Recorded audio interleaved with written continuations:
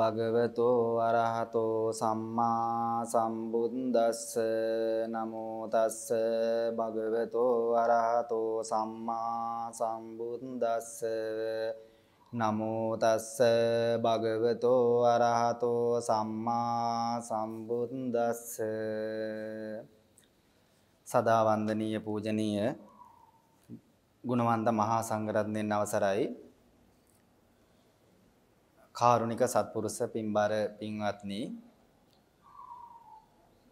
වෙසක් සඳහසේ උදා වෙන විට සම්මා සම්බුදුවරයෙකු පිළිබඳව ඓතිහාසික සිද්ධීන් අපගේ මතකයට නැගී එනවා. පොසොන් සඳහසේ උදා වෙන විට අනුබුදුවරයෙකු පිළිබඳව නොයෙකුත් සටහන් ඓතිහාසික සටහන් අපගේ මතකයට නැගී එනවා. අද ඇසල මස පුරපසළොස්වක පෝය දවස. ඇසල සඳ අහසේ උදා වෙන විට ලෝකේ බෞද්ධ පින්වතුන්ට හැම දිනාටම සත්‍ය ගවේෂී විමුක්ති ගවේෂී ලෝකයාට සාර්වභෞම නිදහස උදා වුණ තෙරුවන් මේ ලෝකයට පහළ වුණ දිනේ හැටියටයි අපිට මතක් වෙන්නේ. සත්‍ය ගවේෂණය කර බොහෝ දිනාට ඒ උතුම් නිදහස සාර්වකාලික නිදහස උදා වුණ තෙරුවන් ලොව පහළ වුණ දවස හැටියටයි අපිට ඇසල පොහොය මතක් වෙන්නේ. ඒ වගේම ලෝකයට සම්මියක් දර්ශනය පහළ වුණ දිනය හැටියට ඇසල පොහොය අපි හැම දෙනාටම මතක් වෙනවා.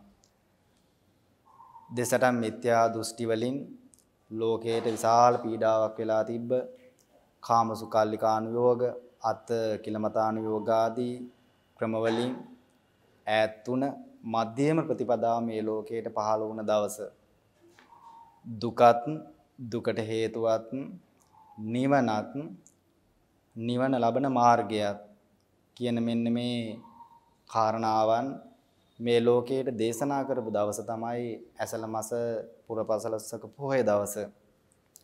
බොහෝ දෙනාගේ චින්තන විප්ලවයක් සිද්ධ වුණ සමාජ විපර්යාසයක් සිද්ධ කළ බුද්ධි විපර්යා බුද්ධ විප්ලවයක් සිද්ධ කළ මේ මහා උතුම් පෝය දවස පිළිබඳවයි අද දවසේ අපේ කතිකාවත අද දවසේ අපි සාකච්ඡා කරන්නේ මේ වෙලාවේ පොහොය දවසේ තියෙන වැදගත්කම පිළිබඳව. එතකොට මාතෘකාවන් කීපයක් ඔස්සේ පින්වත්නි අපි බලමු කාල වේලාවට අනුව පොහොය දවස කොච්චර වටිනවද කියලා. අපි හැමෝටම මතක් වෙන්න ඕන පොහොය දවස උදා වෙන විට අද ඇසල පොහොය දවස කොයි වගේද කියලා ඒකේ ප්‍රබලම කාරණාව අපිට මතක් වෙන්න ඕන. ඇසල පොහොය මොන වගේ කාරණාවක් නිසා විශේෂයෙන්ම තේරවාදී බෞද්ධ පින්වතුන්ට කොයි වගේ දෙයක් නිසාද මේක අද වටින්නේ. ඒ වගේම තමයි ඇසල පොහොය දවසේ සිද්ධ වුණ ශ්‍රේෂ්ඨ සිදුවීම් මොනවද? අපේ බෞද්ධ ඉතිහාසය තුළ ඇසල මස පුන් පොහෝ දා සිදු වුණ ප්‍රධාන සිදුවීමත් එක්ක ඉන් පස්සේ ඇසල මස පුන් පොහෝ දා සිදු වුණ සිදුවීම් මොනවද කියලා ශ්‍රේෂ්ඨ සිද්ධීන් පිළිබඳව අපේ අපිට මතක් වෙන්න ඕන.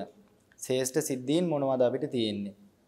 ඒ වගේම තමයි මේ උතුම් ධර්මයේ මේ ලෝකයට පහළ වෙන්න කලින් ಭಾರತ සමාජයේ කොයි වගේ තත්ත්වයකද තිබ්බේ?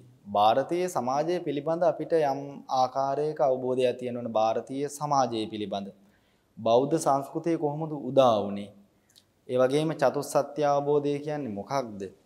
ඒ වගේම සමාජයේ ඇතිවන ප්‍රබෝධය කොයි වගේද? බ්‍රහ්ම ආරාධනාව පිළිබඳ උපක ආජීවකගේ හමුවීම, ඒ වගේම ධර්මචක්‍ර සූත්‍රයේ සාරය පිළිබඳව උපසම්පදාව මේ ලංකාවට ගෙනීම ආදී සිද්ධි කීපයක් අපි මූලික කරගෙන අද දවසේ අපි පටන් ගමු එහෙමනම් මම නැවතත් කියන්නම් ඇසල මාසයේ පුන් පොහොදා ප්‍රධාන සිදුවීම අපිට මතක් වෙන්න ඕන. ඇයි අපිට මේ පොයදා වැදගත් වෙන්නේ? ඒ වගේම මේ පොයදා පින්වත්නි තිබුණා වූ විශේෂ සිදුවීම් බොහෝමයක් අපිට මතක් වෙන්න ඕන. ශ්‍රේෂ්ඨ සිද්ධීන් රාශියක්. ඒ වගේම මේ සිදුවීම් සිද්ධ වෙන්න එදා දඹදිව එහෙම නැත්නම් ಭಾರತೀಯ සමාජයේ කොයි වගේ තත්ත්වයක තිබුණද? ඊට පස්සේ බෞද්ධ සංස්කෘතිය කොහොමද උදා වුනේ?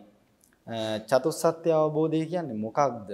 සමාජයේ ඇති වුණ ප්‍රබෝධය කොයි වගේද? ඒ වගේම බ්‍රහ්මාරාධනාව, උපකාජීවකගේ හමුවීම, ධර්මචක්‍ර සූත්‍ර සාරය ඒ වගේම උපසම්පදා ගැනීම කියන මේ කාරණා කීපය අලලා අපි බලමු එමනම් මේ පොයේ දවසේ වැදගත්කම පැහැදිලි කරන්න. මං කලිනුත් කිව්වා ලෝකයේ සත්‍ය ගවේෂී හැම දිනාටම ඒ විමුක්ති මාර්ගය පහළ වුණ ඒ විමුක්තිය සාර්ව බෞම නිදහස උදා වුණ තෙරුවන් ලොව පහළ වුණ දවස තමයි අද දවස.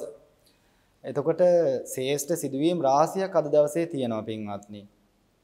අපි දන්නවා මහබෝසතාණන් වහන්සේ වෙසතුරු අත්භවයෙන් මිදිලා තුසිත දෙවිය ලෝකයේ ඉඳලා පස් මහා බැලුම් බලලා දෙවියන්ගේ ආරාධනාවෙන් දඹදිව මධ්‍ය මණ්ඩලයේ සුද්ධෝදන රජතුමාගේ අගබිසව වුණ මහා මායා දේවියගේ කුසේ පිළිසිඳ ගත්තේ අද වගේ ඇසල මස පුම් පොහොව දවසකයි. අද වගේ දවසක තමයි මහා බෝසතාණන් වහන්සේ මහා මායා දේවියගේ කුසේ පිළිසිඳ ගත්තේ.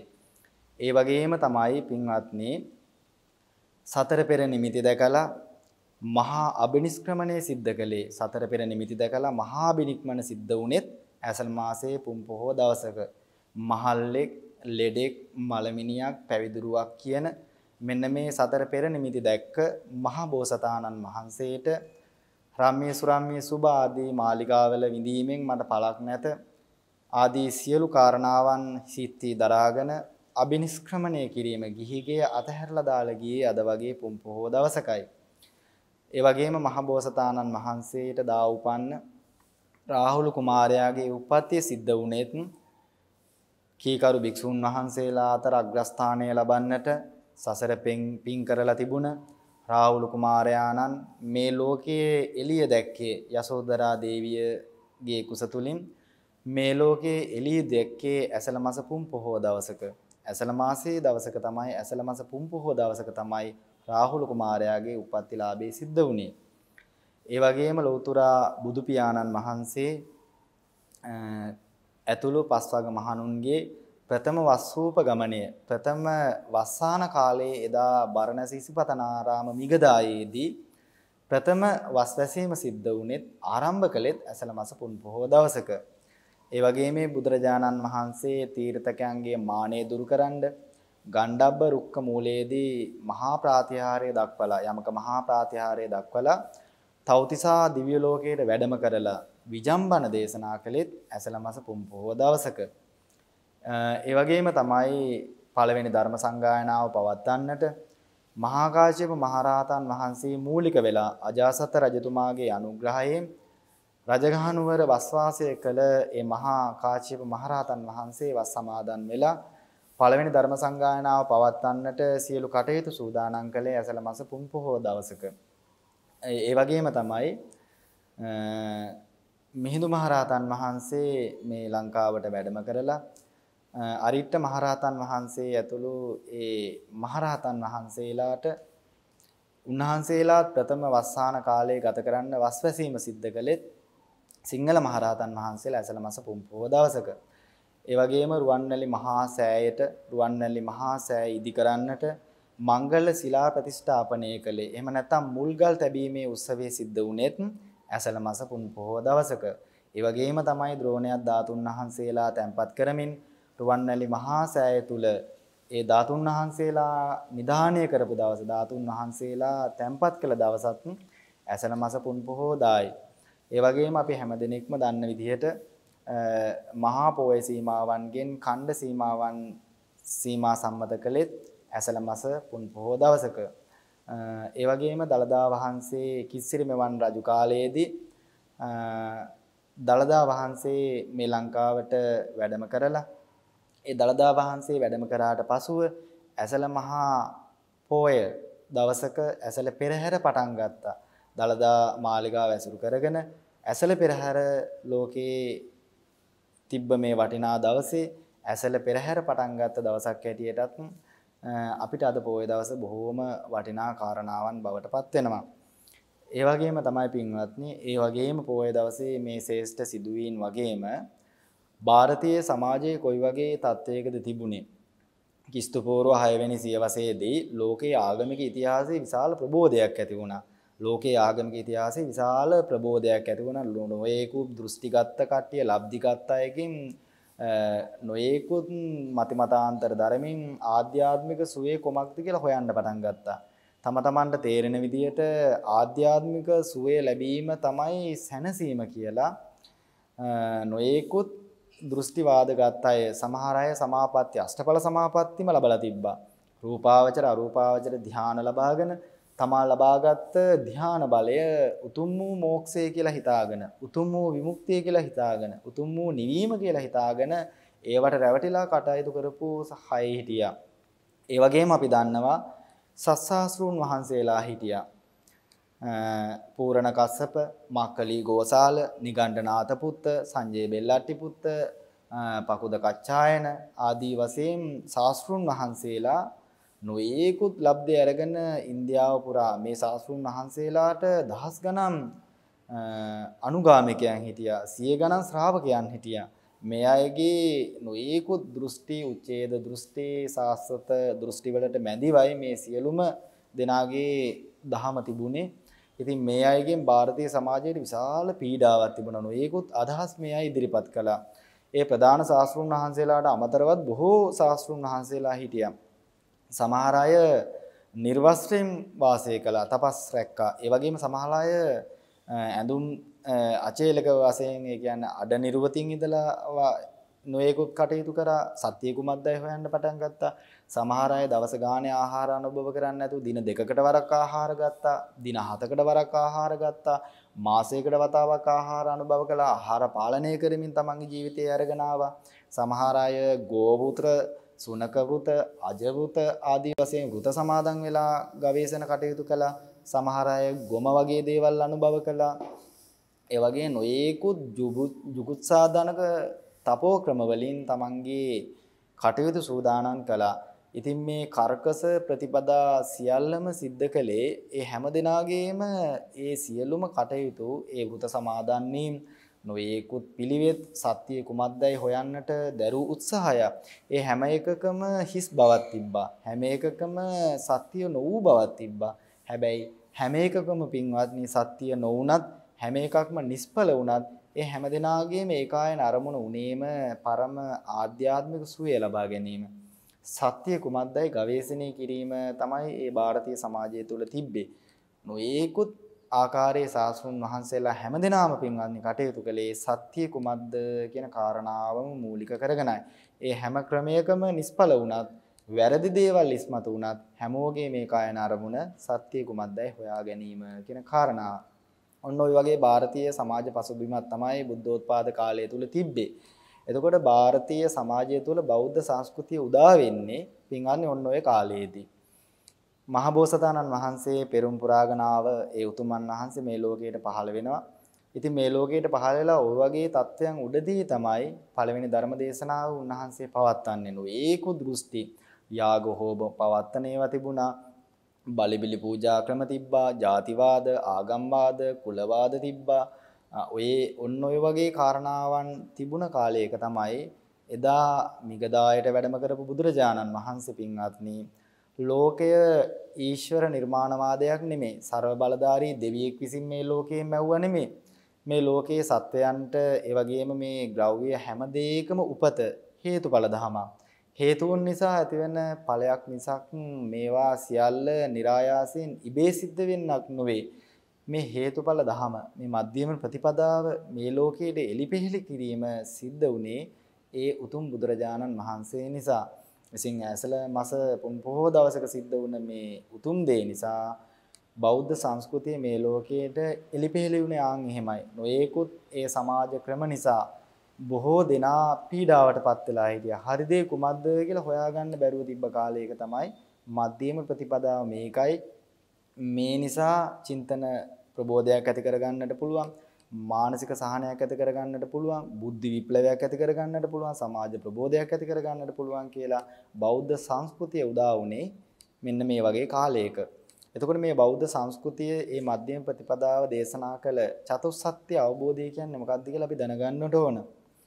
මේ පින්වතුන් දන්නවා බුදුරජාණන් වහන්සේ පින්වත්නි ඒ දේශනා කරන්නට යෙදුන ධම්සප් පැවතුම් සූත්‍රය පිළිබඳ අපි හොඳට දන්නවා බුදුරජාණන් වහන්සේ මිගදායට වැඩම කරලා ඒ කොහොමද දේශනාව පවත්වන්නේ? දේමේ භික්කවේ යන්තා පබජිතේන නසේවිතබ්බා යෝචායන් කාමසුකාලිකාන යෝගෝ හීනෝ ගම්මෝ පොතුජ්ජනිකෝ යෝජායන් අත්තකිලමතාන යෝගෝ දුක්ඛෝ අනරයෝ අනත්ත සංහිතෝ ඒතේතේ උබෝවන්තෝ අනුපගම්ම මජ්ක්‍ධිමා පටිපදා තථාගතේන අபிසම්බුද්ධා චක්කුකරණී ඥානකරණී උපසමාය අභිඥාය සම්බෝධාය නිබ්බානාය සංවත්තති කියන විදිහට ආර්ය අෂ්ටාංගික මාර්ගයේ මේ ලෝකයට එලිපෙහෙලි කරන්නට දේශනා කරපු ධර්ම දේශනාව සියලුම ශ්‍රමණයාණන් වහන්සේලා සියලුම පැවිද්දන් විසින් අන්ත දෙකක් අතහරින්නට ඕන. කාමභෝගී ජීවිතය හීන වූ දෙයක්, ග්‍රාම්‍ය වූ දෙයක්, ඒ සැපසහගත ඇලීම් වලින් ඒ අන්තය අතහරින්න ඕන. ඒ වගේම ශරීරය වලට අධික දුක් දීම, ඒ තපෝක්‍රම අධික වූ දුක් දෙන තපෝක්‍රම වලින් අයින් වෙන්න ඕන. ඒක අනර්ථයේ පිණිස පවතින දෙයක්. මේ අන්ත දෙක බැහැර කරලා මධ්‍යම ප්‍රතිපදාව අනුගමනය කරන්න ඕන. මේ ආර්ය අෂ්ටාංගික මාර්ගය අනුගමනය කරන්නට ඕනේ කියලා දේශනා කරනකොට මේ පින්වතුන් දන්නා manuss ලෝකේ කොණ්ඩඤ්ජ වප්ප මහානාම අසජී කියන කොණ්ණඤ්ඤ වප්ප මහානාම අසජී කියන මෙන්න මේ පස්වග මහණුන් වහන්සේලා විතරයි මිගදායේ වැඩම කරලා හිටියේ මනුස්ස ලෝකේ. පස්වග මහණුන් ප්‍රදාන කරගෙන පින්වත්නි 18 කෝටියක් දෙවිය බ්‍රහ්ම බ්‍රහ්මයන් මේ දේශනාවට සම්බන්ධ වුණා කියලා සඳහන් වෙලා තියෙනවා. 18 කෝටියකට පමණ දෙව් බබුන්ඩ ඒ වගේම කොණ්ඩඤ්ඤ ස්වාමීන් වහන්සේට චතුරාර්ය සත්‍ය ධර්මය අවබෝධ වුණා. එතකොට මේ දෙවියන්ගේ දේවානුභාවයේ ඉක්මවා ගිහිල්ලා විශාල ආලෝකයක් පැතිරිලා මේ මහ පොළොව පවා කම්පා කරවපු දවසක් ඒ චතුරාර්ය සත්‍ය ධර්මය දේශනා කළ දවස.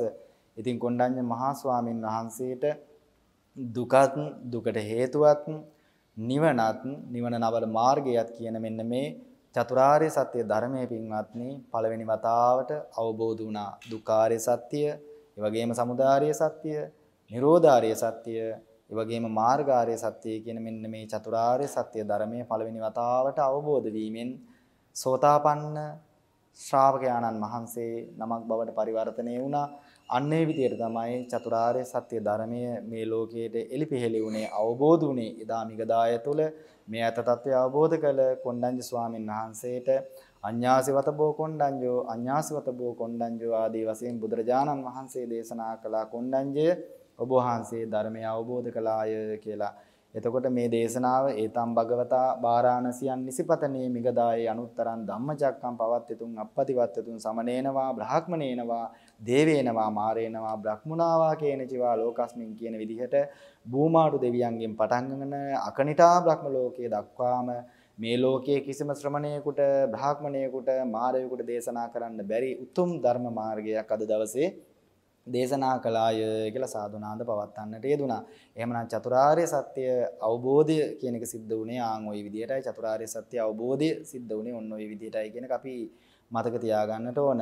ඒ වගේම සමාජයේ ඇතුවන ප්‍රබෝධය පින්වන්න මීට අවුරුදු 2500කට එහා පැත්තේ 2500 ගණනාවකට එහා පැත්තේ තමයි ඍෂිවරුන් පතනේ වෙන ඉසිපතනේ කියලා කියන ඒ වගේම මුවන්ට අබේ භූමිය අබේ දාණය දුන්න මිගදායේ තමයි මේ ධම්සප්පවතුන් සූත්‍ර දේශනාව පවත්වන්නට යෙදුනේ බුදුදහමේ හරය වගේ ධම්සප්පවතුන් සූත්‍රය.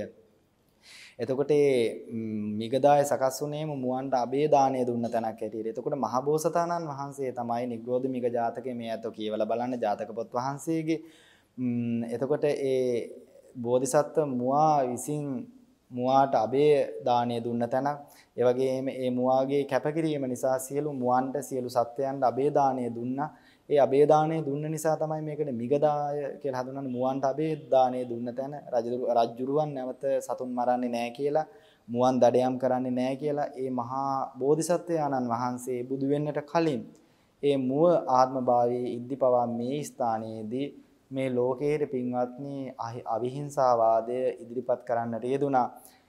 ඒ වගේම පළවෙනි ධර්ම දේශනාව පවත්වන්නටත් මේ ස්ථානයේ උන්වහන්සේ හොඳයි කියලා සුදුසුයි කියලා තෝරාගත්තා. ඉතින් මේ මිගදාය කාසා වස්ත්‍රයෙන් බැබළුණ දවසක්. ඉතින් අපි හැමදෙනාටම මතක් වෙන්නට ඕන මේ ධර්ම චක්‍ර සූත්‍ර දේශනාවත් එක්ක සමාජයේ ඇති වුණ කොච්චර ප්‍රබෝධයක්ද මේක.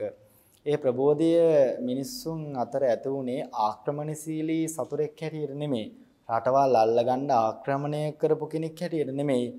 මිනිස්සුන්ට මාර්ගෝද මාර්ග උපදේශයක් ලබා දෙන කල්යාණ මිත්‍රයෙක් වගේ. මේ ධර්ම මාර්ගයේ කල්යාණ මිත්‍රයෙක් මාර්ගෝපදේශයක් ලබා දෙන කෙනෙක් උතුම් මාර්ගයක් උතුම් ජීවන මාර්ගයක් හැටියට තමයි මිනිසුන්ගේ සිත් සතන් වලට මේ දහම කාවැද්දුනේ නොයේකුත් දෘෂ්ටීන් දෙසට මිත්‍යා දෘෂ්ටීන් ඛණ්ඩණය වෙලා ඒවා සුණු විසුණු වෙලා සියලුම දේවල් ඛණ්ඩණය කරන්නට තරම් සමාජයේ හිතන රටාව වෙනස් කරන්නට යෙදුන හැමෝටම ආගමික නිදහසක් මේක බුද්ධියෙන් තෝරා ගන්න ඕන දෙයක්.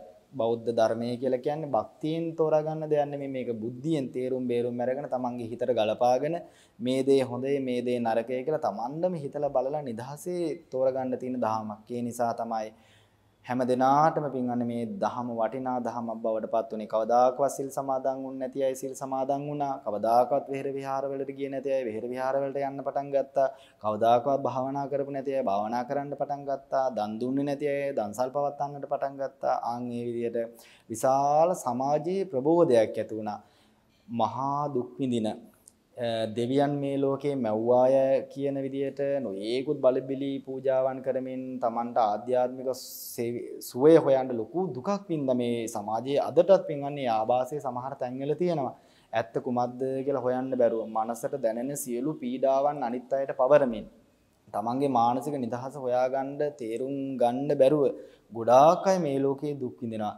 එතකොට සමාජයේ ලොකු ප්‍රබෝධයක් ඇති වුණා. ඇයි ඒ කාටවත් පවරන්නේ නැතුව කාටවත් තමන්ගේ පීඩාව පවරන්නේ නැතුව දුකක් මේ ලෝකේ තියෙනවාය. මේ දුකට හේතුව තණ්හාවයි.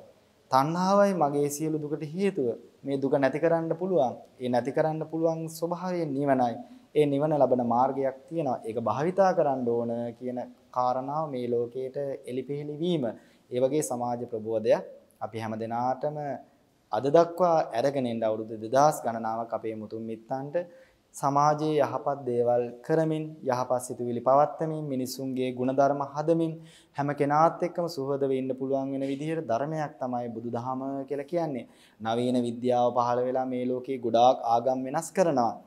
බුදුදහමට හැමදාම විද්‍යාව කරන අය හැමදාම විද්‍යාව කරන අය විද්‍යා ලෝකය හැමදාම අලුත් ලෝකයේ අය හැමදාම මේ ලෝකේ යමක් තෝරගන්න අය මේ ලෝකේ ගවේෂණය කරන අය බුදුදහමේ අයට ආශිර්වාදයක් උන්වහන්සේ දේශනා කරපු ධර්මය බොහෝ කාලයකට පවතින දහමක්. ඒ නිසා අපි හැමදෙනාටම සමාජයේ ඇති වුණ ප්‍රබෝධය පිළිබඳ යම් අවබෝධයක් ඇති වෙන්නට ඕන. ඒ වගේම තමයි මේ පින්වතුන් දන්නා බ්‍රහ්ම ආරාධනාව අපිට වැදගත් වෙනවා ඇසලමස පුම් පොහෝදා. මේ පින්වතුන් දන්නා බුද්ධත්වයට පත් වෙලා හරියටම මාස 60ක් විතර යනවනේ. සස්සතිය ගත කරලා නේද? සස්සතිය ගත කරලා ඇසල පොයේ දවසට දවස් මාස 60ක් නෙමෙයි දවස් 60ක් යනවනේ. දවස් 60ක් මාස දෙකක් ගත වෙනවා වෙසක් පොහොයේ ඉඳන් මාස දෙකක් ගියාමනේ ඇසල පොහොයේ ඉන්නේ. එතකොට මේ ඇසල පොය වෙලාවේ තමයි ඇසල පොයට ආසන්න වෙලාවේ තමයි බ්‍රහ්මාරාධනාව කියන එකට අපිට වැදගත් වෙන්නේ. මේ පින්වතුන් දන්නා මහා වග්ගපාළී මේ කාරණාවන් පැහැදිලිව තියෙනවා. බුදුරජාණන් වහන්සේ කල්පනා කරනවා මම අවබෝධ කරපු ධර්මයේ ගැඹුරුයිනි. මේ ලෝකයට දේශනා කරොත් ලෝකයා වෙහෙසටපත් වෙයිද දන්නේ අන්න ඒ වගේ ටිකක් අදහසක් පහළ වෙනකොට සහම්පතේ බ්‍රහ්මරාජයා මේක දැනගත්තා. මේක දැනගෙන බුදුන් වහන්සේට ගිහින් ආරාධනාවක් කරනවා. ඔබ වහන්සේ ධර්මයේ දේශනා කරන්න මේ ලෝකයේ කෙලෙස් අඩු පුද්ගලයන් ඉන්නවා. ඒ නිසා මේ ධහම දේශනා කළේ නැත්නම් ඔවුන්ගේ පිරිහීමක් වෙන්නේ. ඉස්සර මේ මගදේ නොයෙකු දෘෂ්ටීන් දේශනා කළ සාස්ෘණ වහන්සේලා හිටියා. පාතුරු හොසි මගදේ සුපුබ්බේ ආදී වශයෙන් ඔබ වහන්සේ ධර්මයේ දේශනා කරන්න ආදී වශයෙන් මේ ධර්මයේ පිළිබඳ දේශනා කරන්න කියලා ආරාධනා කරපු එක තමයි බ්‍රහ්ම ආරාධනාව කියලා කියන්නේ ගාථාවන් වලින් උන්වහන්සේ ඒ මහා බ්‍රහ්මයා සහම්පති බ්‍රහ්ම රාජයා ආරාධනා කළා. ඉතින් බ්‍රහ්මාරාධනාව පිළිබඳවත් අපිට අද දවසේ මතක් වෙන්නට ඕන. බ්‍රහ්මයාගේ ආරාධනාවෙන් බොහෝ දෙනා මහා බ්‍රහ්මයා අදහපු ලෝකයක ඒ බ්‍රහ්මයාම ඇවිල්ලා බුදුන් වහන්සේට ධර්ම දේශනා කරන්න ආරාධනා කර හරිම අසිරිමත් සිදුවීමක්. ඒ පිළිබඳ අපිට මතක් වෙන්නටත් ඕන. ඒ වගේම බ්‍රහ්මයා ආරාධනා කරාට පස්සේ බුදුරජාණන් වහන්සේම සඳහන් කරනවනේ අපාරුතාතේසන් නමතස්ස උදාහරා යේසෝතවන්තෝ පමුජ්ජං සුසද්දන්නාදී වශයෙන් මම ධර්මයේ දේශනා කරනවා. මම අනිත් අයට අපහසුතාවයක් වෙයි කියලා තමයි ධර්ම දේශනා කරන්න නැතුව හිටියේ. මම එහෙමනම් ධර්මයේ දේශනා කරන ශ්‍රද්ධාව මුදා හරින්න කියලා උන්වහන්සේ ධර්ම දේශනා කරන්නේ කාටද කියලා කල්පනා කරනවා. ඉතින් මතක් වෙනවා ආලාර කාලාමයක්. මීට දවස් 7කට කලින් පිරිනුවම් පෑවාය කියලා මීට දවස් 7කට කලින් කරුලිය කරා කියලා දෙවියෙක් සඳහන් කළා. ඉතින් උන්වහන්සේ බුදු නුවණින් බලද්දිත් ඒක වැටහුණා. ඊට පස්සේ Tamanට උදව් උපකාර කළ Tamanට මාර්ගෝපදේශය පවත්වන්නට යෙදුණු උද්දකරාම පුත්‍රයන් මතක් වෙනවා. ඊට කලින් දවසේ කලුරිය කරා කියලා දෙවියෙක් ඇවිල්ලා සඳහන් කළා. උන්වහන්සේ සරඤ්‍යතා ඥාණයෙන් දැකලා දැනගත්තා. උද්දක රාමපුත්තත් කලුරිය කරා විශාල හානියක් තමයි සිද්ධ වුනේ. අර අරිය පරිේෂණ සූත්‍රයේ තියෙනවනේ නේද? එතකොට ආලාර කාලාරමයන්ට ඒ කියන්නේ අය ලොකු ප්‍රඥාවන්ත අය. ඒ වගේම උද්දකරාම පුත්තයන්ට ධර්මයේ දේශනා කරන්න විදිහක් නැහැ කලුරිය කරලා. ඊට පස්සේ කල්පනා කරා මම ඇත්තටම දැන් කාටද ධර්මයේ දේශනා කරන්නේ? මතක් වුණා දුෂ්කර ක්‍රියා කරන කාලයේ පින්වත්නි පස්වග මහණුන් තමයි Tamanට ගොඩාක් උපස්ථානය කළේ. පස්වග මහණුන් කොහෙද වැඩ ඉන්නේ කියලා බලනකොට ඉසිපතරණයේ මිගදායේ වැඩ ඉන්නවා කියලා දැනගෙන පාගමනින්ම වැඩම කරනවා. එතකොට මේ වැඩම කරන අතරතුරේදී තමයි උපකාජීවකතුමා හම්බෙලා ඔබ වහන්සේ හරිම සුන්දරයි. ඔබ වහන්සේගේ වර්ණය හොඳයි. ඔබ වහන්සේගේ ශාස්ත්‍රුන් වහන්සේ කවුද? ඔබ වහන්සේ කොහෙද යන්නේ? ආදී විස්තර සඳහන් කරනවා. ඔබ වහන්සේට අනන්ත ජින කියලා සඳහන් කරන ඉතින් බුදුරජාණන් වහන්සේ සඳහන් කරනවා මට සම කෙනෙක් නැහැ කාම රූප අරූප කියන ලෝකේ මං හා සමාන කෙනෙක් නැහැ ඒ වගේම මම කාම රූප අරූප ලෝකෝත්තර කියන චතුරු ආදී ධර්ම අවබෝධ කරගත්ත කෙනෙක් මට ගුරුවරයෙක් නෑ මට සමාන කෙනෙක් නෑ. මමමයි ගුරුවරයා. මම කසීරට මම ධර්ම දේශනා කරන්න මේ යන ගමන් මම සියලු පාපයන් අයින් කරා ආදී වශයෙන් බුදුරජාණන් වහන්සේ නමේ ආචාර්යවතේ සදිසෝ මේන විජිති මට කිසිම ආචාර්යවරයෙක් නැහැ කියලා උපකාජීවකතුමාට සඳහන් කරලා තමයි ඒ අතරමඟදී ගයාවටත් බෝධියටත් අතරමඟදී තමයි උපකාජීවකතුමා හම්බ වෙන්නේ. එතකොට ඒ පිළිබඳත් අපිට යම් ආකාරයක වැටහීමක් තියෙන්න ඕන. ඊට පස්සේ ධර්මචක්‍ර සූත්‍ර සාරය පිළිබඳ අපි යම්තම් දැනගන්නට ඕන ධර්මචක්‍ර සූත්‍රයේ කුමක්ද සාරය මේකේ. සංයුත්ත නිකායේ ධම්සප්පවතුන් සූත්‍රයේ තියෙන සත්‍ය සංයුත්තේ මේ ධම්සප්පවතුන් සූත්‍රයේනි මේකදාය දේශනා කළේ. එතකොට දේශනා ධම්මචක්ක පටිවේද ධම්මචක්ක කියලා ඒ ධම්මචක්ක සූත්‍ර දේශනාවම දෙකට බෙදෙනවා ධර්මචක්‍රය දේශනා වශයෙන් පටිවේද වශයෙන් පටිවේද ධම්මචක්කය තමයි බෝධි මූලයේදී සිද්ධ වුනේ පින්වත්නි. නේද? මේ චතුරාර්ය සත්‍ය ධර්මයේම සොළොස් ආකාරයකින් අවබෝධ වීම සිද්ධ වුණා. පරිඥා ඒ වගේම පරිඥා අභි ආදී වශයෙන් සච්චිකා ආදී වශයෙන් මේක සොළොස් ආකාරයකට අවබෝධ වීම බුදුරජාණන් වහන්සේට බුද්ධ ගයාවේදී සිද්ධ වුණානේ. දුක පිළිසිඳ දැන ගැනීම සමුදය ප්‍රහාණය කිරීම නිරෝධය සාක්ෂාත් කිරීම මාර්ගය අවබෝධ වීම ඒ වගේම ඒක සොළොස් ආකාරයක් කියලා කියන්නේ සෝතාපන්න, සකදාගාමි, අනාගාමි, අරිහත් කියන විදිහටපත් වෙනකොට සොළොස් ආකාරයකින් චතුරාර්ය සත්‍ය අවබෝධ වෙන ප්‍රතිවේදේ වෙනවා. ඒක තමයි පටිවේද ධර්ම චක්‍රය කියලා කියන්නේ. මේ ධම්සප්පයවත් ධර්මය ඒ විදිහට ප්‍රතිවේද කරනවා. ඒ වගේම දේශනා ධම්ම චක්‍රය කියලා කියන්නේ කරුණාවෙන් මෛත්‍රියෙන් යුක්තව ඒ ධර්මචක්‍රයේ ධර්මයේ දේශනා කරම තමයි ඉසිපතනාරාමේදී සිද්ධ වුනේ. ප්‍රතිවේද කිරීම බුද්ධ ගයාවේදී සිද්ධ වුණා. දේශනා කිරීම තමයි දේශනා ධර්මචක්‍රයේ තමයි ධර්මයේ නැමැති රෝධය ධර්මයේ නැති චක්‍රය දේශනා කරපු එක තමයි මිගදායේදී සිද්ධ වුනේ. හැබැයි මිගදායේදී කොහොමද දේශනා කළේ? ඒවන් ත්‍රිපරිවර්තන් ද්වාදසාකාරයන් යථා භූතං ආදී වශයෙන් ඒවන් ත්‍රිපරිවර්තන් ඒ කියන්නේ තුන් ආකාරයකට මේ චතුරාර්ය සත්‍ය ධර්මය මේක ඇත්තක් මේක පිරිසිදු දැනගන්න ඕන. මේක පිරිසිදු දැනගත්තා. කියන්නේ සත්‍ය ඥානය කෘත්‍ය ඥානය. කෘති ඥානය වශයෙන් හැම සත්‍යයකටම දුක්ඛාරය සත්‍යයට මේක සත්‍ය ඥානය මේක කෘත්‍ය ඥානය මේක කෘත ඥානය මොකක්ද?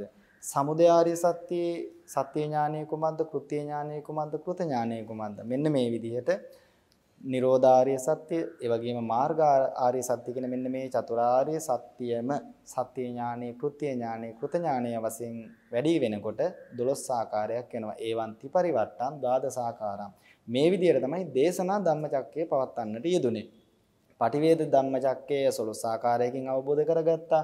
දේශනා ධර්මචක්‍රය තමයි බොහෝම කරුණාවෙන් පස්වග මහණුන් ඇතුළු 18 කෝටියක් දෙවිය බ්‍රහ්මයන්ට දේශනා කරන්නට යෙදුනේ. එතකොට ධර්මචක්‍ර සූත්‍රයේ සාරය අපි දැනගන්නට ඕන දේශනා ධම්මචක්‍ර, පටිවේද ධම්මචක්‍ර කියලා. එතකොට මෙන්න මේ දේශනා ධර්මචක්‍රය කොහොමද දේශනා කරන්නේ? ඒ දුක මේ ආදී සියලුම ධර්මයන් දේශනා කරන්නට යෙදුන ආර්ය අෂ්ටාංගික මාර්ගය ඇතුළුව.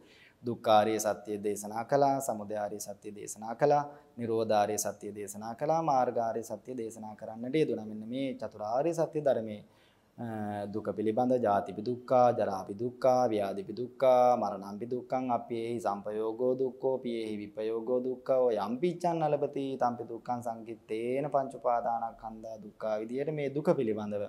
ඒ වගේම තණ්හාව පිළිබඳව ආයන් තණ්හා පොනෝ භවිකා නන්දි රාග සහගතා තත්ත තත්තාබිනන්දනී සේයති දන් විදිහට මේ තන තන ඇලෙන තණ්හාව කියන්නේ මොකක්ද? ඊට පස්සේ යේ තස්සායේව තණ්හාය විරා අශේෂ විරාග නිරෝධෝ ආදී වශයෙන් නිවන පිළිබඳ ඒ වගේම මාර්ග සත්‍ය ධර්මයේ පිළිබඳ සම්මා දිට්ඨිය, සම්මා සංකල්පය, සම්මා වචනය, සම්මා කම්මන්තය, සම්මා ආජීවය, සම්මා වායාමය, සම්මා සතිය, සම්මා සමාධිය කියන විදිහට මෙන්න මේ ආර්ය අෂ්ටාංගික මාර්ගය පිළිබඳ දේශනා කරන්නට යෙදුනා. මෙන්න මේ විදිහට සම්මා දිට්ඨිය පවා නොයේකුත් කොටස් තියෙනවා. දසවස්තුක සම්මා දිට්ඨිය, චතුසත්‍ය සම්මා දිට්ඨිය, විපස්සනා සම්මාදිට්ඨිය, ධ්‍යාන සම්මාදිට්ඨිය, මාර්ග සම්මාදිට්ඨිය, ඵල සම්මාදිට්ඨිය ආදී වශයෙන් මෙන්න මේ විදිහට පින්වත්නි මේ ධර්ම චක්‍ර සූත්‍ර දේශනාව පිළිබඳ ඒක සාරය පිළිබඳ අපි දැනගන්නට ඕන. ඒ වගේම තමයි ලක්දිවට උපසම්පදාව ගෙන ආවා. ලක්දිවට උපසම්පදාව ගෙනීම කියලා කියන්නේ කාලයක් තිබුණා මේ ලංකාවේ උපසම්පදා ස්වාමීන් වහන්සේලා නැති කාලයක්.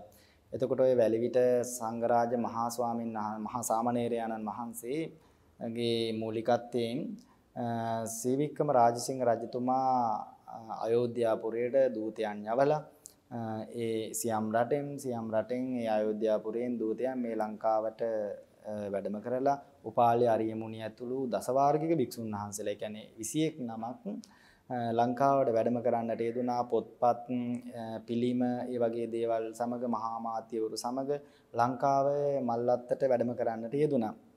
එතකොට එතනදී ලංකාවේ සාමණේරයාණන් වහන්සේලා උපසම්පදා කරපු දවස තමයි ඇසල මාස පුන් පොහොව දවස. එතකොට ලංකාවට මේ මෑත කාලේ 1700 ගණන් වල මට මතක හැටියට ලංකාවේ 1700 හෝ 800 ගණන් වල මට හරියටම දවස් මතක නැහැ ලංකාවේ නැවත උපසම්පදාව පිහිටුවීමක් සිද්ධ වුණා. මේ එතකොට දන්නා මේ පින්වතුන් එතන වැලවිට සංඝරාජ මහා ස්වාමීන් වහන්සේ තමයි මූලිකත්වයේ තිබුණේ ඒ කටයුතු වල. නමුත් උන්වහන්සේට වැඩිමල් ස්වාමීන් වහන්සේ නමක් අවශ්‍යයි කියලා Tamanට වඩා වැඩිමල් සාමණේරයන් වහන්සේ නමක් ඉස්සෙල්ලාම උපසම්පදා කළා. අවසානයේදී ඒ සාමණේරයන් වහන්සේලා 6 නමක් උපසම්පදා කළා. ඒ හය නම අතර අවසානම බාලම සිල්වන්ත ගුණවන්ත මහා උතුම් ස්වාමීන් වහන්සේ නමක් තමයි ඒ සියම් මහානිකායේ ඒ කියන්නේ ප්‍රධාන තැනක් හොබවන්නට යෙදුන ඒ සිද්ධාර්ථ ස්වාමීන් වහන්සේ තිබ්බටුවාගේ සිද්ධාර්ථ මට මතක හැටියට උන්වහන්සේ තමයි ලාබාලම සාමණේරයන්න් වහන්සේ. දැන් එතකොට එන්නේ සාමණේරයන් වහන්සේලා හය නම තමයි ඇසලමස පුන් පොහොදා උපසම්පදා කරන්නට යෙදුනේ. අන්න ওই විදිහට තමයි පොයේ දවසේ වැදගත්කම පිළිබඳව අපිට හැඟෙන්නේ. ඉතින් මම නැවතත් ඊටාම කෙටියෙන් මේ සියලු කාරණාවන් මතක් කරන්නට ඕන කියලා කල්පනා කරා. ලෝකයාට තෙරුවන් ලොව පහළ වුණ දිනේ සියලුම නිදහස උදා වුණ තෙරුවන් ලොව පහළ වුණ දිනේ තමයි ඇසලමස පුම් පොහොව දවස සම්මියක් දෘෂ්ටිය සම්මියක් දර්ශනය පහළ වුණ චතුරාර්ය සත්‍ය ධර්මයේ දේශනා කළ දවස. එතකොට තමයි මේ පොයේ දවසේම තමයි මහබෝසතාණන් වහන්සේ මායා දේවියගේ කුස තුල පිළිසිඳ ගත්තේ රාහුල කුමාරයාගේ උප්පත්තිය සිද්ධ වීම මහා අබිනිෂ්ක්‍රමණය ඒ වගේම ප්‍රථම වස්සූපගමනය ඒ වගේම යමා මහා පෙළහැර සිද්ධ කිරීමෙන් විජම්බන දේශනා කරන්න තවතිසාවට වැඩම කිරීම ඒ වගේම අටසැටලෙන් පූජා කිරීම රුවන්වැලි මහා සෑයේ ධාතු නිදානෝත්සවය සිද්ධ වීම මංගල ප්‍රතිෂ්ඨාපනය සිද්ධ කළේ රුවන්වැලි මහා සෑයේ ඒ වගේම ලංකාවේ සිංහල මහරහතන් වහන්සේලා මිහිඳු මහරහතන් වහන්සේ වැඩියට පස්සේ සිංහල අරිට්ඨ කුමාරයා ඇතුළු මේ උන්වහන්සේලාගේ උපසම්පදාව තුඹුරු සීමා මාලකයේදී කියන්නේ ඒ සිද්ධ වුණා ආන් ඒ වගේ ඇසල මාසයේ සිද්ධ කරන්නට යෙදුන පෙරහැර ආරම්භ කරපු දවස දලදා පෙරහැර ආරම්භ කරපු දවසක් ඇටියට මහා වැදගත්කමක් තියෙනවා. ඉතින් ඒ වගේ ශ්‍රේෂ්ඨ සිදුවීම් රාශියක් තියෙන ඇසල මාස පොම්පෝව දවසේ. විශාල සිදුවීම් රාශියක් තියෙනවා. එතකොට මේකේ ප්‍රධානම සිදුවීම තමයි මේ ලෝකයේ චතුරාර්ය සත්‍ය ධර්මයේ දේශනා කරපු දවස. බරණැසි සිපතනාරාමේදී. මේ ධර්මයේ දේශනා කරන්න කලින් ಭಾರತೀಯ සමාජයේ නොඒකුත් සස්ත්‍රාස්ත්‍රුන් වහන්සේලා හිටපු නොඒකුත් ලබ්ධිගත දෘෂ්ටිගත ශාස්ත්‍රුන් වහන්සේලා නොඒකුත් ගෝවුත අද අජවෘත ආදී දේවල් සමාදන් වෙලා හිටියා. එතකොට මේ ಭಾರತೀಯ සමාජය එහෙම තිබුණේ. ඒ ಭಾರತೀಯ සමාජයේ ඒ වගේ තිබ්බ කාලයක තමයි බෞද්ධ සංස්කෘතිය උදා වෙන්නේ මේ මධ්‍යම ප්‍රතිපදාව දේශනා කිරීමෙන්. ඒ මධ්‍යම ප්‍රතිපදාව දේශනා කිරීමෙන් මිනිසුන්ට විශාල නිදහසක් ලැබුණා. ඉතින් චතුරාර්ය සත්‍ය අවබෝධය කියන එක පිළිබඳවත් අපි සාකච්ඡා කළා. ඊට පස්සේ සමාජයේ ඇති වුණු විශාල ප්‍රබෝධය අවුරුදු 2000 ගණනාවක් ලෝකයාට යම් මාර්ගයක් දේශනා කරපු දවස ලෝකයාට චින්තන ප්‍රබෝධයක් ඇති කරන දහමක් හැටියට මේ දහම ලෝකයේ ව්‍යාප්ත වෙන්නට යෙදුනා මේ බුදු දහම. ඉතින් ඒ උතුම් සමාජ ප්‍රබෝධයත් එක්ක තමයි මේ පොය දවසේ බොහෝම වටින්නේ. එතකොට බ්‍රහ්මයා කරපු ආරාධනාව අපි දැනගත්තා. බුදුරජාණන් වහන්සේට මංගල ධර්ම දේශනාව කරන්නට කලින් සහම්පති බ්‍රහ්මරාජය ඇවිල්ලා ආරාධනාවක් කළා. ඒ ආරාධනාව කරාට පස්සේ ධර්ම දේශනා කරන්න යනකොට උපකා ආජීවක හම්බ වෙනවා. උපකා ආජීවක තුනමා හම්බුණාට පස්සේ ධර්ම දේශනා කරන්න ඉසිපතනාරාමයට වැඩම කරනවා. ඉතින් සංයුත්ත නිකායේ තියෙන මේ ධම්සත් පැවතුම් සූත්‍රය ඊටාම කෙටියෙන් අපි සාරාංශය ඒකේ සාරය කුමක්ද? මුළු බුදුදහමේම පදනමක් වගේ. අන්ත දෙක පිළිබඳව නේද? ඒ ධම්මචක්ක සූත්‍රයේ තියෙන අන්ත දෙක පිළිබඳව මධ්‍යම ප්‍රතිපදාව පිළිබඳ ආර්ය අෂ්ටාංගික මාර්ගයේ චතුරාර්ය සත්‍ය ධර්මයේ පිළිබඳ අපිට යම් කිසි අවබෝධයක් ඇති කරගන්නට ඕන. ඒ වගේම තමයි ලක්දිවට උපසම්පදාව ගෙන ආපු දවසක් ඇටියට උපසම්පදාව සිද්ධ වුණ දවසක් ඇටියටත් අද දවසේ අපිට විශාල ප්‍රබෝධයක් විශාල අභිමානයක් ගැන අපිට කතා කරන්න පුළුවන්කමක් තියෙනවා. ඉතින් මේ වගේ පොහොය වර්ණනාවකින් අපිට අපේ අතීතය මතක් වෙලා අපේ හැම කෙනෙක්ගේම ජීවිත අලුත් කරගන්න ඕනේ. හැම වෙලාවෙම Tamanට යහපත සිද්ධ වෙන විදියට පොය දවස පාවිච්චි කරන්න ඕන. පොය දවසට කලින් ඉඳන් මේ පොයේ තියෙන වැදගත්කම පිළිබඳව අපි දැනගන්නට ඕන.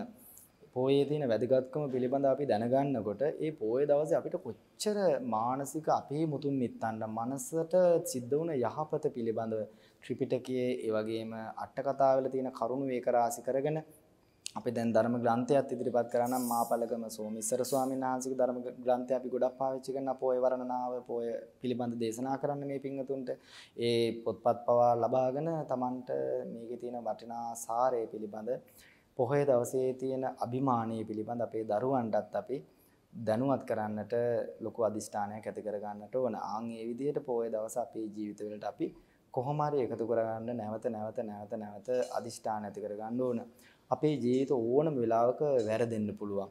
ඕනම වෙලාවක මේක සසර ජීවිතයක් පින්වත්නි. මේක මහා බරපතල සසර ජීවිතයක්.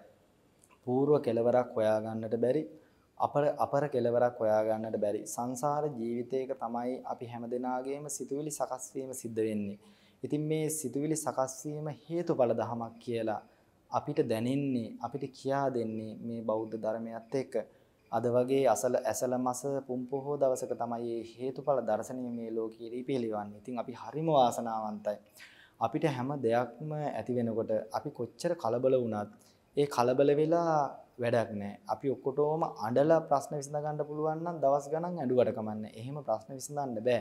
එහෙම දුක නිවෙන්නේ නැහැ. අපි ඕන තරම් පුංචි කාලේ ඉඳන් අඬලා ඇති. මේ පිඟුතුන් ඕන තරම් පුංචි කාලේ ඉඳන් අඬලා ඇති. ඒත් එහෙම ප්‍රශ්න විසඳන්න බෑ. සියලු දුකක් ඇති වෙනවා නම් අපිට දැනෙන කායික මානසික සියලු දුකට හේතුව තණ්හාවමයි කියලා අපි පිළිගන්නවා නම් ඒ තණ්හාව මල් ළඟින් තියනකම් මල් ළඟ හට ගන්නකම් මට දුක, ජාති දුක ඇති වෙන එක මට නවත්තන්න බෑ. ව්‍යාධි දුක ඇති වෙන එක මට නවත්තන්න බෑ. මරණ දුක ඇති වෙන එක මට නවත්තන්න බෑ. ශෝක පරිදේව දුක්ඛ දෝමනස්සය ඇති වෙන එක මට නවත්තන්න බෑ. මේක ප්‍රතිඵලයක්. මේ දුක්ඛ දෝමනස්සය ඇති වෙන්නේ තණ්හාව නිසායි. තණ්හාව නැති කරන්න ඕන දෙයක්. මේ තණ්හාව ඉබේ පහළ වුණ එකක් නෙමෙයි. තණ්හාව හේතුඵල ධමයක්. මේ තණ්හාව අයින් වීම තුළ ඒතං සන්තං ඒතං පණීතං ආදී වශයෙන් නිවනක් තියෙනවා. සදාකාලික විමුක්තියක් තියෙනවා. ලෝකෝත්තර සැපතක් තියෙනවා. ඒ සැපත ලබා ගන්න මාර්ගය දුක්ඛ නිරෝධ ගාමිනී පටිපදාවයි. අපි හැමදෙනාම දුක්ඛ නිරෝධ ගාමිනී පටිපදාව ආර්ය අෂ්ටාංගික මාර්ගය පුරුදු කරන අය ඒ පුරුදු කරන අයට සැරෙන් සැරේ සැරෙන් සැරේ මේ මාර්ගයෙන් ඉවත් වෙනවා. මේ මාර්ගයෙන් ඉවත් වෙනකොට නැවත තණ්හාව වැඩෙනවා. තණ්හාව වැඩෙන්න වැඩෙන්න ජාති ජරා ආදී දුක් අපිට ලැබෙනවා.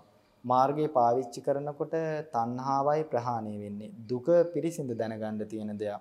තණ්හාව ප්‍රහාණය කරන්න තියෙන දෙයක්. නිවන සාක්ෂාත් කරන්න තියෙන දෙයක්. මාර්ගය පාවිච්චි කරන්න තියෙන දෙයක්. ශරීරයේ හයිය තිබ්බට කවදාකවත් ආර්ය අෂ්ටාංගික මාර්ගය වඩන්න බෑ. පින්වත්නි මේ චෛතසික ධර්මයට වඩන්න හිතේ හයිය තියෙන්න ඕන. උතුම් බෞද්ධ ගුරුවරු අපිට ඉන්නවා. ඒ සියලු ගුරුවරුන්ගේ ආශිර්වාදය ලබාගෙන පින්වත් සියලුම දෙනා ලොකු අදිෂ්ඨානයක් ඇති කරගන්නට ඕන. අද දවසේ ඇසළ මස පුන් පොහෝදා තියෙන ප්‍රබල වැදගත්කමක් එක්ක ಭಾರತය වගේ විශාල රටක චින්තන රටාවට විශාල වෙනසක් සිද්ධ කළ බුද්ධි ප්‍රබෝධයක් ඇති කළ සමාජ විපර්යාසයක් ඇති කළ ප්‍රබෝධයක් ඇති කළ අද වගේ දවසක මම මේ සසර ජීවිතයේ මා තුල ගොඩනැගෙන මේ සිතුවිලි වල විශාල ප්‍රබෝධයක් ඇති කරගන්න අදිෂ්ඨාන කරනවා. මේ චින්තන රටාවේ විශාල වෙනසක් සිදු කරගන්නවා. මා සතුව තියෙන මේ බුද්ධිය පාවිච්චි කරනවා. මේ ශරීරය මහ පොළොවට ඇදගෙන වැටෙන්නට කලින් මමත් උතුම් වූ චතුරාර්ය සත්‍ය ධර්මයේ වෙනුවෙන් කටයුතු කරනවා ඒ අවබෝධ කරගන්න ඒ සඳහා විශාල පින් එකතු පාදා කරගන්න අපි අපේ ජීවිත කාලයේ තුලා පුරාවටම සිද්ධ කර සියලුම පින් එකතු පාදා කරගෙන අද දවසේ තියෙන වැදගත්කම අද ඇසල සඳ උදා වෙනකොට අපිට දැනෙන විශාල පහසුව මතක් වෙන්න ඒ වගේම විශාල ශ්‍රේෂ්ඨ සිද්ධීන් රාශියක් අපිට දැනෙන්න ඕන. ඒ වගේම මේ සියලුම දේවල් මතුවෙන්න ಭಾರತೀಯ සමාජයේ කොයි වගේ තත්වයකද තිබ්බේ බෞද්ධ සංස්කෘතිය කොහොමද උදා වුනේ? චතුස්සත්‍ය අවබෝධය කියන්නේ මොකක්ද? සමාජයේ ඇති වුණ ප්‍රබෝධය කොයි වගේ ප්‍රබෝධයක්ද? බ්‍රහ්මාරාධනාව උපකාජීවකගේ හමුවීම චතුස්සත්‍ය අවබෝධය ධර්මචක්‍ර සූත්‍ර සාරය කොහොමද උපසම්පදාව ගිනීම පිළිබඳ වීම නම් අපි හැමදෙනාටම මතක් වෙන උත්තරීතර දවසක් ඇටියට අපි අද දවස සලකනවා. එහෙම සලකනකොට අපිට පුළුවන් අපේ ජීවිතය අලුතෙන්ම පටන් ගන්න බෞද්ධ ආගමානුකූලව අලුතෙන්ම පටන් ගන්න පුළුවන්කමක් තියෙනවා. අද උදෑසන ඉඳන්ම මේ පිංගතුන්ට ධර්ම දේශනාවන් බොහෝමයක් මේ පිංගතුන්ට සිද්ධ කළා. ඉතින් මේ පිංගතුන්ට කියවලා බලන්නට පුළුවන් නිග්‍රෝධමික ජාතකය අපේ මහබෝසතාණන් වහන්සේ මිගදාය කියන නම හැදෙන්න පෙර ආත්ම භාවයකදී සිද්ධ කළ විශාල කැපකිරීම විශාල ජීවිත පරිත්‍යාගයක් සිද්ධ කරන්න ඒ කතාව කියන්න මං හිතන්නේ මේ වෙලාව සුදුසු නෑ කියලා තමයි හිතෙන්නේ. කාල වේලාවක් දැන් ටික ටික ඉක්ුත් වෙන නිසා නික්‍රෝධමික ජාතකය මේ පිංතුන්ට දේශනා කරන්න වෙලාව නෙමේ. ධම්සප් පැවතුම් සූත්‍රය සම්පූර්ණයෙන් දේශනා කරන්නත් මේ වෙලාව නෙමේ.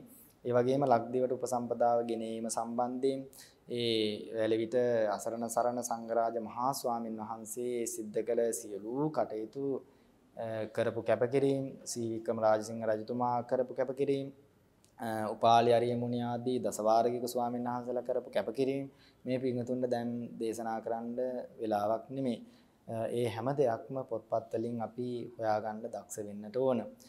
ඒ වගේම කීකරු භික්ෂුන් වහන්සේලා අතර අගතැන්පත් වුණ රාහුල කුමාරයාගේ උපත්ය උන්වහන්සේගේ චරිතාපදානය කොයි වගේද සිද්ධ වුණේ ඒ උපත සිද්ධ වුණේ අද වගේ පින්බර පොහොය දවසකයි ඉතින් ඒ පොයේ තියෙන වැදගත්කමත් එක්ක රාහුල කුමාරයාට මේ ලෝකේ එළිය බලන්න පුළුවන් වෙනවා. ඉතින් ඒ උතුම් කුමාරයාගේ උපත කොහොමද සිද්ධ වෙන්නේ පිළිබඳව අපිට හොඳට මතක් වෙන්න ඕනේ. ඉතින් ඒ ඒ පිළිබඳ දේශනා කරන්න දැන් ඇත්තටම වෙලාව නෙමෙයි.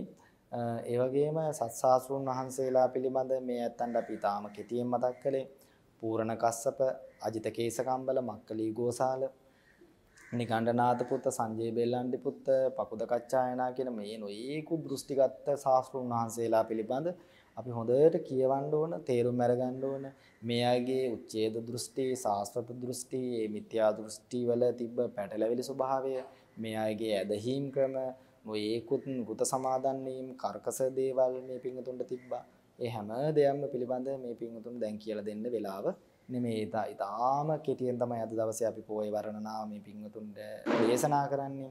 ඒ පොයේ වර්ණනාව තුළින් අපි බලාපොරොත්තු වෙන්නේ පින්වත්නි මේ පින්වතුන්ට ඉතාම කෙටියෙන් පොයේ දවසේ පිළිබඳව වටිනාකම මේ පින්වතුන්ට කෙටියෙන් මතක් කරන්න. ඉතින් අපි අද දවසට අදාළව පොහොය වර්ණනා මේ වෙලාවේ නිමා කරන්නයි බලාපොරොත්තු වෙන්නේ. හොඳයි. පින්වත්නි අපි එහෙමනම් අද මේ පින්වත් සියලුම දෙනාට ජයමාර්ග රූපවාහිනිය ඔස්සේ පොහොය වර්ණනාව විකාශය කරන්නට අපිට තිබ්බ ඇවිල්ලා ධර්ම දේශනාව කරන්නට විතරයි. මේ ධර්ම දේශනාවට විශාල ධන පරිත්‍යාගයක් කරමින් මේ ලෝකයේ හැම දිනාටම මේ පොහොය වර්ණනා විසුරුවා හරින්නට නිවෙස් වල ඉඳන් මේ ධර්ම දේශනාවට සම්බන්ධ වෙන්නට විශාල දායකත්වයක් දරන්නට යෙදුණා. සදැහැති දායකත්වයක් දරන්නට යෙදුණ පිරිසක් ඉන්නවා. මේ සදැහැති දායක පිරිස නිසා තමයි අද දවසේ මේ පින්වත් හැම දිනාටම gederindam තමන් ඉන්න තැන්වල ඉඳන් මේ දේශනාවට සම්බන්ධ වෙන්න පුළුවන්කම ලැබුණේ. ඉතින් අපි හැමදෙනාම ඒ හැම ඒ අයට පින් අනුමෝදන් කරන්න මේක අවස්ථාවක් කරගමු. අද පොහොය වරණනා වෙනුවෙන් සදැහැති දායකත්වයේ දරන්නේ සදැහැති පිරිසක් කියලා සඳහන් කරලා තියෙන්නේ. ඒ පින්වත් පිරිස බලාපොරොත්තු වන්නේ ලොකු ස්වාමීන් වහන්සේ ඇතුළු සියලුම ස්වාමීන් වහන්සේලාටත් ජයමඟ කාර්ය මණ්ඩලයට නිදුක් නිරෝගී දීර්ඝායුෂ ලැබේවා කියලා ප්‍රාර්ථනා කිරීමත් හැකියක්මනින් මෙම කොරෝනා ව්‍යසනය මුළු ලොවින්ම ඉවත් වෙන්නට මේ රෝගයෙන් පෙළෙන හැම දෙනාටම ඉක්මන් සුවය ලැබේවා කියලා මේ පින්වත් පිරිස ප්‍රාර්ථනා කරනවා. ඒ වගේම මේ දායකත්වයේ දරන අයගේ මේ ගිය පියතුමන්, මව, සහෝදරයා ඇතුළු සියලුම සංසාරගත නැසී ගිය නෑ හිත මිතුරන්ටත් මෙම පූජාව පරම පූජාවක්ම වේවා කියලා මේ පින්වතුන් ප්‍රාර්ථනා කරනවා. ඉතින් මේ හැම දෙනාම බලාපොරොත්තු වෙන විදියට සියලු දෙනාම නමින් අභාවයට යන්නට යෙදුන වර්ග પરම්පරාම යාත සියලුම ඥාතීන්ටත් මේ පින්වත් පිරිස ඇතුළු මේ හැම දෙනාම ආරක්ෂා කරන සියලුම සම්මිය දෘෂ්ටික දෙවියන්ටත් තමන් හදා වඩා ඇති දැඩි කරන්නට යෙදුන අම්මා තාත්තා සුජීවත්ව වාසය කරනවා නම් ඒ දෙමව්පියන්ටත් මේ මහා පුණ්‍ය ශක්තිය ආශිර්වාදයක්ම වේවා. මේ දායකත්වයේ දරන්නට යෙදුන හැම දෙනාටමත් ලෝකවාසී බෞද්ධ පින්වත් සියලුම දෙනාටත් කායික මානසික නිදුක් නිරෝගී චිර ජීවනයේ ලැබේවා. දරුවන්ගේ යහපත් බලාපොරොත්තු ඉෂ්ට සිද්ධ වේවා. පෞල් ජීවිතවල සාමය සතුට සමගිය වර්ධනය වේවා. පින් අනුමෝදන් කළ දෙවියන්ගේ රැකවරණයෙන් තුනුරුවන්ගේ සූවිසි මහා ගුණ බලයෙන් සිතක් ශාන්තය සැනසීමක් යහපතක් මුදා වේවා කියලා අපි ප්‍රාර්ථනා කරනවා. හැම දිනාටම තෙරුවන් සරණයි.